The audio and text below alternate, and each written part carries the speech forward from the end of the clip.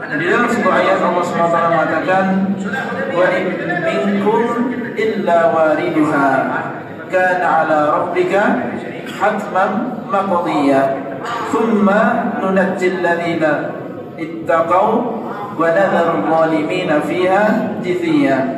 Allah mengatakan dalam surat Maryam dan tidaklah ada di antara kalian wa in minkum illa waliduha dan tidak ada di antara kalian yaitu orang-orang yang beriman illa waliduha kecuali dia akan mendatangi neraka tersebut. Ya dan warid di sini mendatangi di sini belum tentu masuk ke dalam neraka.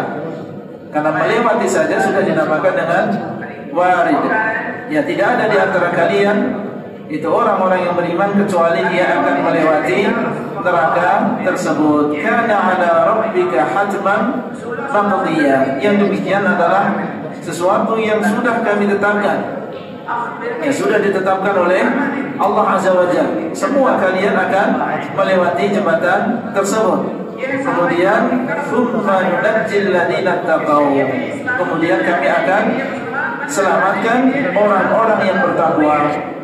Akan kami selamatkan orang-orang yang bertakwa wa nadharu zalimina fiha jithiya. Kemudian kami akan biarkan akan kami biarkan orang-orang yang zalim di dalam neraka dalam keadaan jithiyah yaitu dalam keadaan berlutut.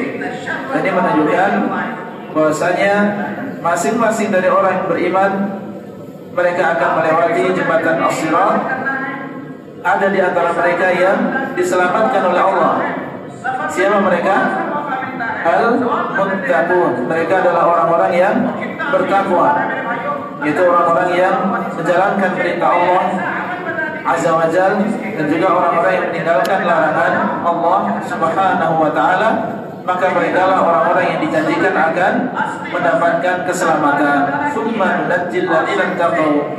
Adapun orang-orang yang zalim ya dan ini masuk dengan orang-orang yang zalim di sini adalah orang-orang yang menzalimi dirinya sendiri dengan apa? Dengan dosa. Dengan kemaksiatan.